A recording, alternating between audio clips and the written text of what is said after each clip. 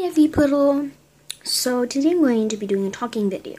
But even if you don't like talking videos, you have to stay tuned because there's some important news in this video.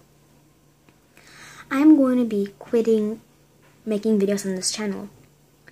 And I'm going to explain... okay, so the main reason is I want to make videos so people can enjoy them. And when I make videos, I feel it's fun, it's happy, it's I, I feel glad making videos. But there has been someone called Sarah Tang which has been copying all my videos, doing everything she can to ruin my channel. And she also has been disliking my videos.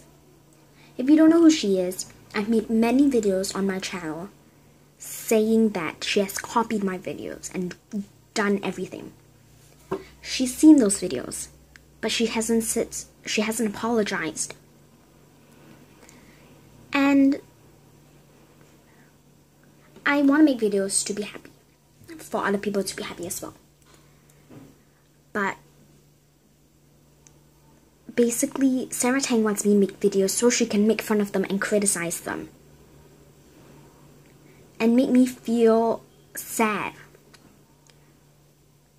well, Sarah Tang, if you're watching this video, I don't feel sad that you're doing all this. I don't care. Continue to do what you do. It won't affect me in any way.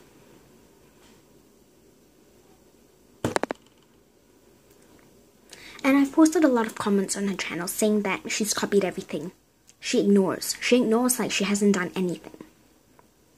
So she's gonna start her own channel. I'm gonna start my own channel. So I started another channel. She found out. I start another channel. I will make sure that she won't find out no matter what she does. I'm no longer gonna comment on any of her videos so she won't find out. I'm gonna make sure she won't find out. I'm not gonna tell any of my friends so they most so they won't comment on Sarah Tang's videos and tell her. I want to grow my channel on my own. I don't want people I know to subscribe to me.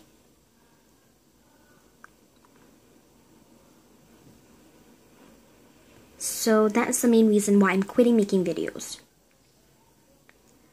I wanted to make this video for a really long time but I just never wanted to. I just wanted to like never make videos on my channel and just make no video about it. But I'm quitting once and for all. I don't care if Sarah Tang dislikes this video a hundred times. It won't affect me.